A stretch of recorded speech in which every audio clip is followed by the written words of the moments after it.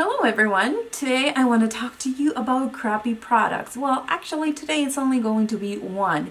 And this week I decided that I'm going to talk to you about products that don't work for me, that I wouldn't recommend you to try or spend your money. They're just worthless in my opinion, in my experience, and how I use them.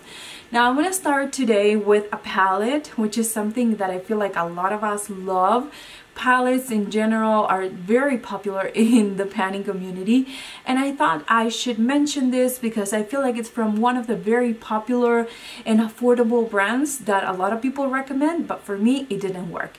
If you look at my eye makeup it looks very it looks muddy because I actually use blue I use a light blue I use a green I really get frustrated when I when I bump into this kind of eyeshadows. Yeah, what I'm talking about is the Galaxy Chic by BH Cosmetics. This is an 18 color palette and it has a variety of different shades. Now I have to say that when I first got this palette, it was mostly for this part over here where the oranges are and the more warmer part of this. However, I did want to have a combination of baked eyeshadows that I could use wet and get more of a metallic look.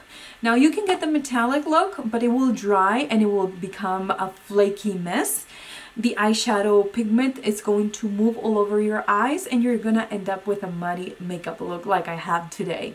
Now, I'm not too happy about it, but I wanted you to see it. I wanted you to know that even though I use, you know, different shades, you know, they're just not good quality that they can stand on their own so they mix with each other and they create a muddy makeup look they are the worst formula that I've ever tried and when I first got it I was so excited I did use it a lot but I always realized that it was fading throughout the day. It's just such a bad formula, such a bad pigment that it will fade, it will look muddy, and it's just worthless.